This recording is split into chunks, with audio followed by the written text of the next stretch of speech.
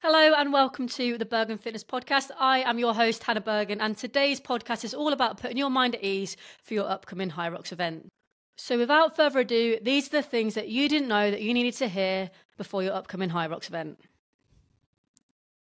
First thing that I want to touch on is that you are more words. You are more prepared than you think for your upcoming Hyrox event. And it's so easy as humans to think that you're so underprepared when actually you've put some hard work in. And if you haven't, then that's a reflection for upcoming events. But just know that you've probably done a lot more than you think and you are probably more prepared prepared than you think.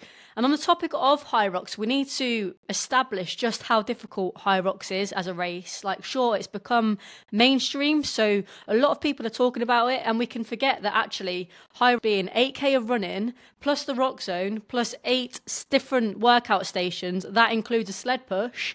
That isn't light it's heavyweight. What you are doing alone even entering it or even turning up to your race is amazing. So if you don't feel prepared and you're still putting yourself in that position where you're completing a really difficult sporting event, then hats off to you just for making the start line. And on that topic as well is your body, the ability for you to even be able to complete something as intense as Hyrox is incredible that you're even be able to stand on that start line and put your body through this. So massive, massive well done for building a resilient body to allow you to do this. So first of all, just please appreciate that.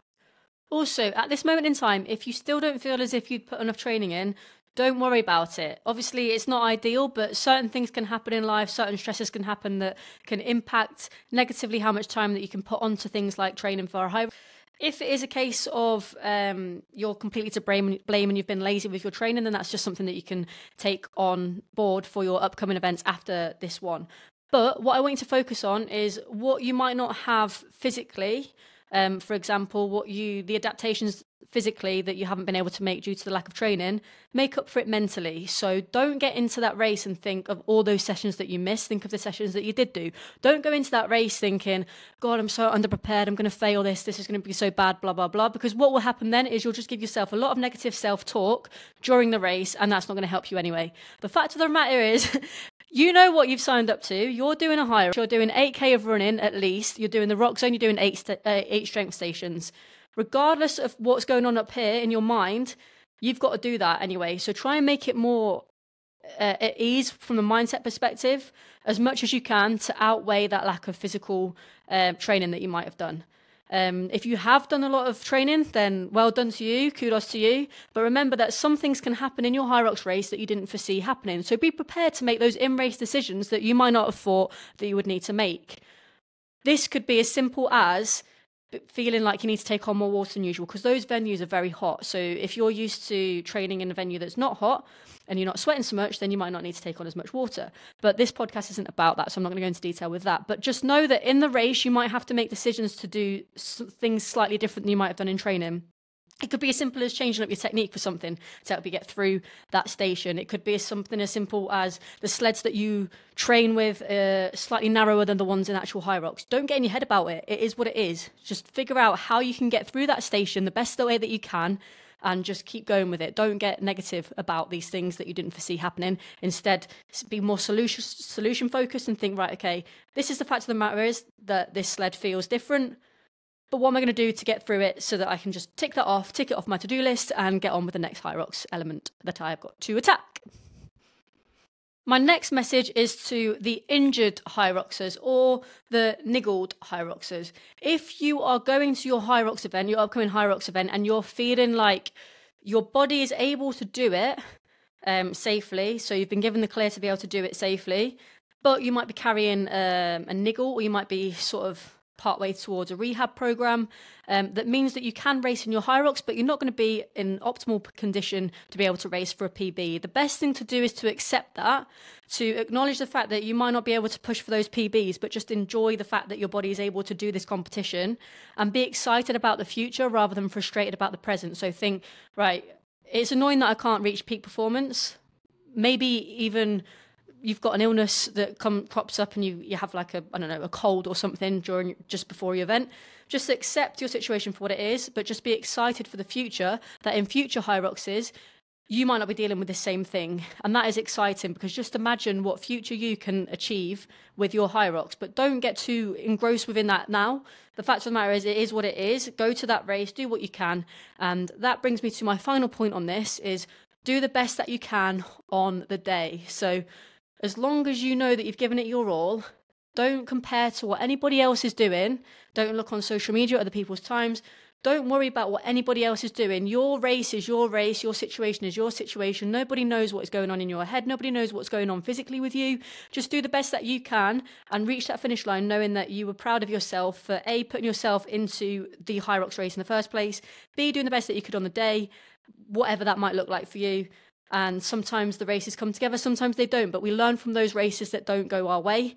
And we just input all of that information in the way that we kind of perceive that race into our training for the upcoming one and use it as determination and motivation. Now I've got that little pep talk out of the way, I want to move on to five top tips for your upcoming Hyrox event. So, first of all, is to familiarize yourself with the course and the number of laps. This is something that people still get wrong, even when they see how many laps are required of them. So, make sure you've got your head around it. If you don't have your like when you get to the venue, double check it, triple check it with the um, judges there or volunteers. Um, next up is don't put a time pressure on your performance, particularly for first timers. So each course is very different with how the track uh, feels. So some courses are faster than others, they have less corners, they have less laps. Some courses have more people on the track, so you're having to weave more and more. So your line of running's not as, as easy in terms of uh, picking up those 1Ks in between the stations. Um, and sometimes the sleds just feel really heavy in some venues, and people still don't know why that is. But uh, the key thing is is not to put time pressure on a performance, particularly if you're a first timer, because you don't have a clue what you're expecting. And even if you've done simulations beforehand, those simulations often don't have a massive Roxzone.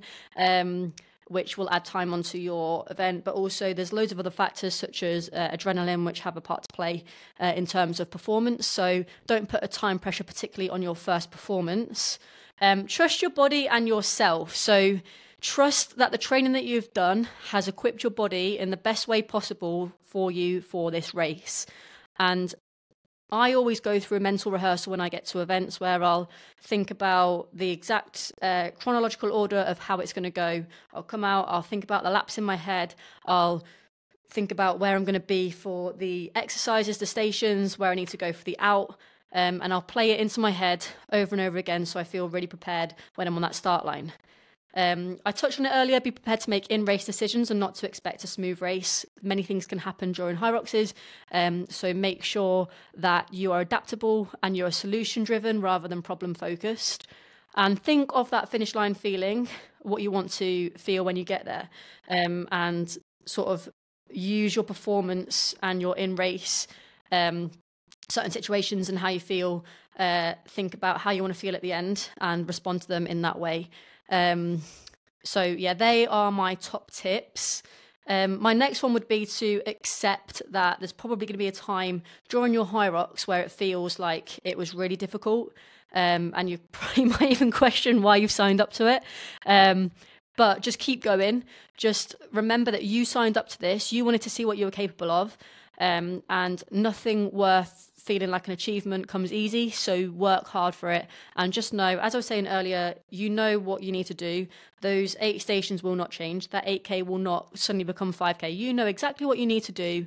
Um, you're going in knowing what you need to do. So just try and make it um, as mentally, um, what's the word, like able um, as you possibly can to keep a strong mindset where possible. So I hope I hope this episode's been useful for you. Um, I hope that it's given you a bit of appreciation for the fact that you're even doing this upcoming Hyrox.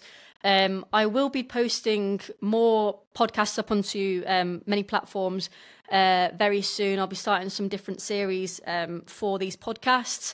Um, but in the meantime, I just wanted to get this one out there so that you could um, listen to it before your upcoming Hyrox race because I know that Birmingham is this weekend and the UK High Hyrox season is very close to being underway. And I wanted to get this podcast out there before the start of the season.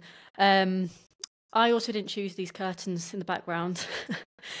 I don't know who did. I'm in rented accommodation at the moment. Um, so yeah, that wasn't my choice. Just in case you're wondering um, what my taste of household attire is. Um, I don't know where I'm going with that. I'm going off tangent. Um, but yeah. Anyway, I hope you enjoyed this. I hope you found value in it. If you listen to it, please do let me know. Share it with people who are also competing in their HYROX because I hope that I've given you some um, good tips and also a little bit of a pep talk along the way for your upcoming race. And I hope now that you feel a lot more calm about your upcoming race and good luck. Massive, massive good luck. Thank you for listening.